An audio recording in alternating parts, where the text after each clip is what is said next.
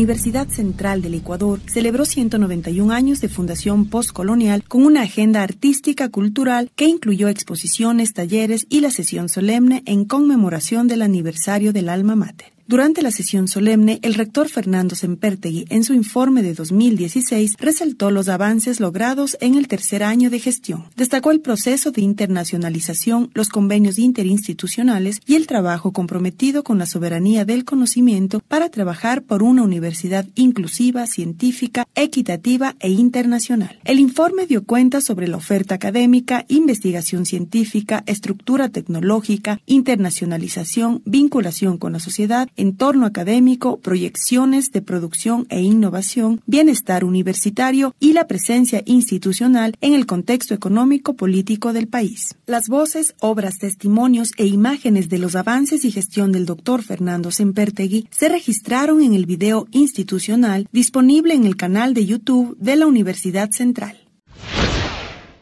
Blanca Real, decana de la Facultad de Odontología, en su discurso de orden, destacó la lucha por las perspectivas de género antes invisibilizadas, el respeto a las culturas minoritarias y el respeto a los derechos sociales y de la naturaleza. Resaltó que la universidad nunca ha permitido ni permitirá la injerencia política que pretenda contaminar su quehacer académico, porque su responsabilidad es con la nación.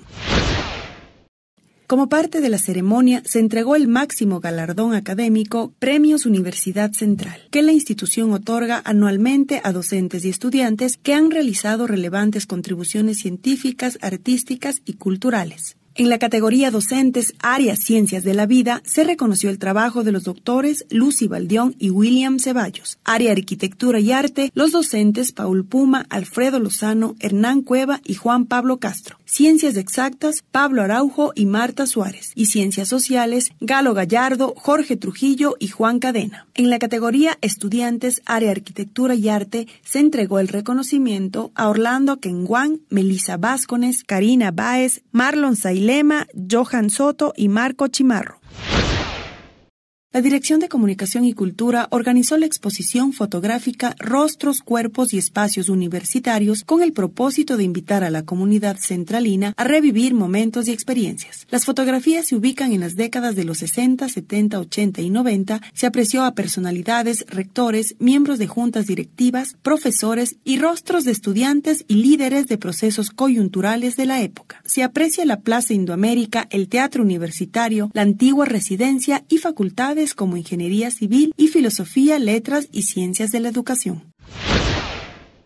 Con gran acogida se realizó el concierto coral organizado por la Dirección de Comunicación y Cultura, que convocó a los amantes de la música para compartir una velada emotiva, acompañados del coro de la Universidad Central del Ecuador con la dirección del maestro César Chauvin y del ensamble Voz de Luna dirigido por Mónica Bravo. Las emociones de los asistentes sintonizaron con el repertorio en un primer momento de melodías del ensamble Voz de Luna, agrupación de mujeres que interpretan obras de compositoras o arreglistas y canciones que tengan como temática la mujer a manera de tributo al reconocimiento del trabajo femenino en el ámbito musical. A tono con esta cita musical, los integrantes del coro universitario provocaron fuertes emociones en el público conectado con la armonía de voces de estudiantes apasionados por la música, provenientes de varias facultades forman una escuela en la que desarrollan su parte artística y mejoran técnica y humanísticamente.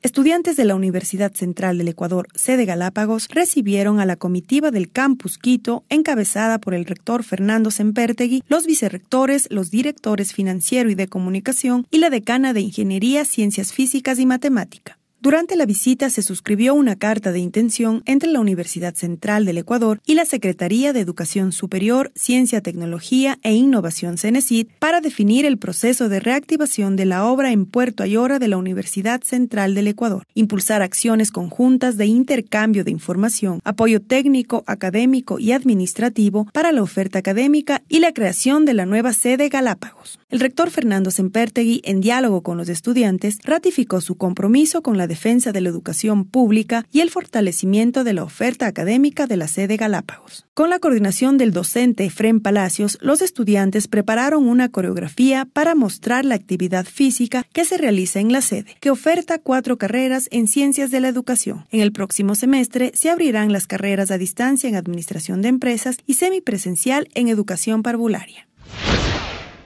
Invitamos a la comunidad centralina a participar en las actividades programadas por la celebración de los 191 años extendidas hasta el mes de junio.